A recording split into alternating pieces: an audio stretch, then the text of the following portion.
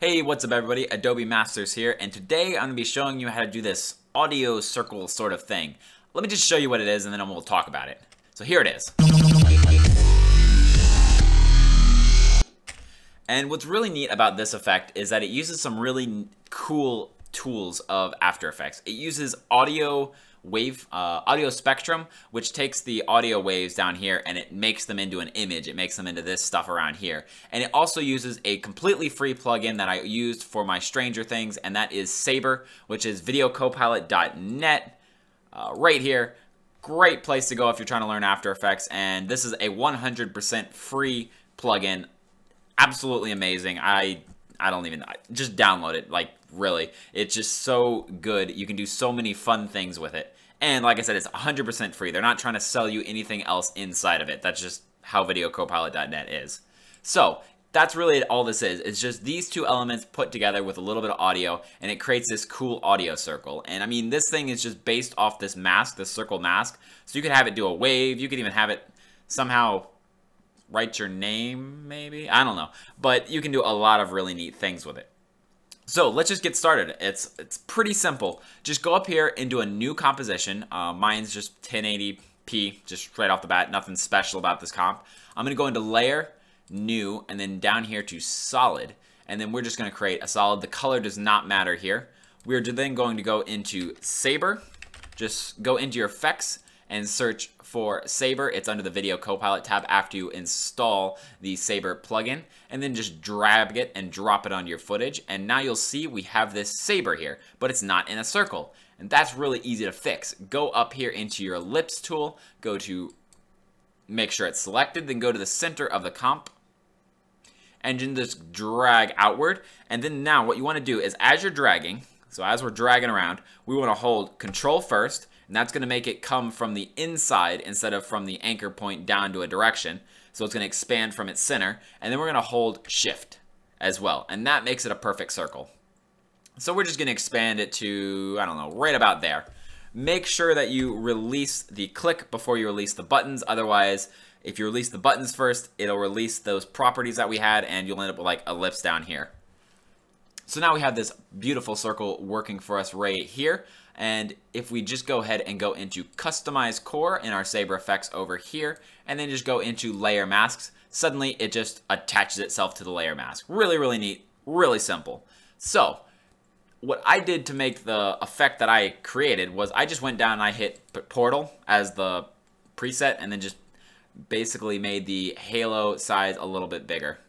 And that's it. That's all I did with this. I mean, you can do so many cool things on this. Um, there are just so many different presets that you can start from and then completely and totally make your own from just working with all these effects right here. But we're going to go with Portal like I was saying, bring the halo size back up, and then this is what I used. So then, click on this comp, not comp, but the piece of footage right here, and then click Control D at the same time, and that just duplicates the piece of footage so that now we have two of these going, and we can go ahead and hit Screen, right there. And you can see like I could change the color to, we can do like fun color things and learn some color theory. What does, you know, red and blue create? It creates purple, but that's not what we want to do. We're actually going to go into this top layer and we are just going to delete Saber straight out of it. The reason we want to do that is because we are going to go ahead and drop audio spectrum onto it. Now, the reason we duplicated this instead of just creating our own layer, uh, a new layer, is because when we go to audio spectrum, we want the path to be mask 1. And the, what that's going to do is mask 1 was this mask, our circle, that made the circle right here. When we duplicated it, it copied the mask as well. So when we apply the mask here, it's going to apply the audio spectrum in a perfect circle that fits our bottom layer. Pretty simple technique, and it makes it work perfectly. So we're in our audio spectrum right here. And now let's go ahead and just boost up those, uh, let's go with the maximum height a little bit. And oh, actually first we need some audio. So let's go grab audio, drop it into our comp right here, and then go back to back into our audio spectrum. And under audio layer, we're going to go ahead and we're going to select number three right here. And you can see some audio layers coming up here. We can increase the bands. Um, yeah, like maybe right around there we can still see the bands, but they're kind of like, they're making shapes now instead. And then we're going to go ahead and we're going to go down to side options and just choose side B. It just makes it so it's all on the outside of the circle instead of the inside of the circle. Then we're going to make sure the maximum height goes up and you'll notice something weird. It cuts off in a square around here. I'm not entirely sure why it does that, but we can fix that really easily. We're going to go into our mask and then we're just going to increase the feather. That's all you have to do. I have no idea why it does that, but that is the quick fix and now we can just work with any height that we want. So we're gonna go ahead and first change the color. Gonna make it blue, gonna make our outside color blue as well. So now it matches with this. And then we're gonna make, let's see, the thickness a little more. Just a, yeah, a little, just add a little color in there. Maximum height. Yeah, it looks right, pretty good right around there. And then let's go ahead and just add a glow to it. And this glow is going to tie it together. It's so subtle, but it's really the factor that's going to tie it together. We're going to add some intensity to it.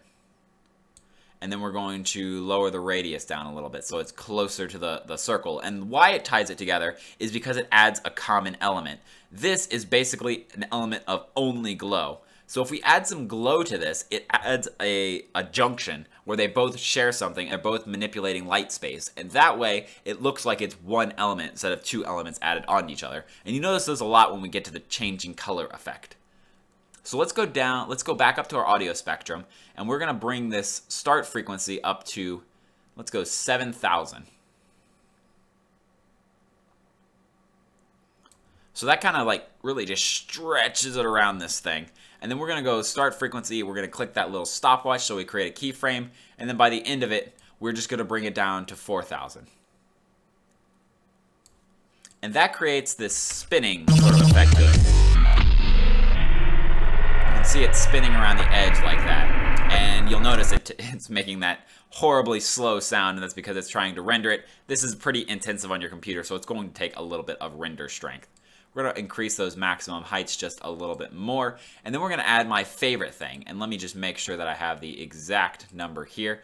53 degrees. So we're going to go ahead and go into here and we're going to add some hue interpolation at 53 degrees. What this does is it adds a little bit of hue variance, um, color changing as it goes around. So you'll see this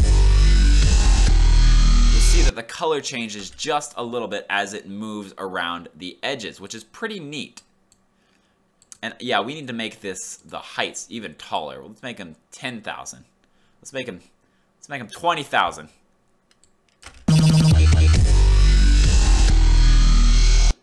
Twenty thousand is a little too high.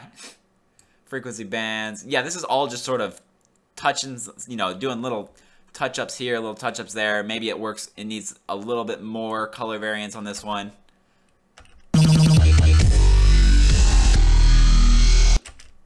And there you have it. Um, the rest of it is just sort of going through here and manipulating these variables back and forth until you find something that fits with you. For me, it was all of these settings. Uh, everything that like perfectly works over here. Um, so I went like a, a thicker sort of a, a, better thickness, which actually is probably a good idea because see how it's adding that glow? Remember I was saying the glow ties it together? So I went with like a 5. And you'll see that the glow really actually does add the element that I was looking for there. um, so yeah, yeah.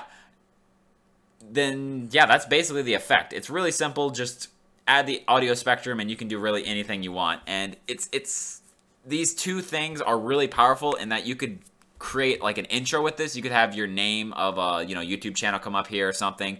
Um, you could have a music video. You could I don't know VFX a shot of like a screen and like um, maybe a boombox screen and put like this back into it, except just make it a line.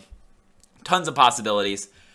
Thanks everyone for joining me for this tutorial. Uh, this little ex exploration into some of the cool tools of After Effects. If you like uh, see more Adobe content like this, go ahead and hit the subscribe button. If you got any questions or comments or maybe suggestions for future tutorials, leave those in the comments below. And until next time, guys, see ya.